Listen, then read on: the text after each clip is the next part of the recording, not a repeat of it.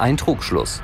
Denn als nächstes müssen alle Beteiligten mit auf das Polizeirevier. Hier werden die Personalien aufgenommen, umfangreiche Tests durchgeführt und Blutproben entnommen.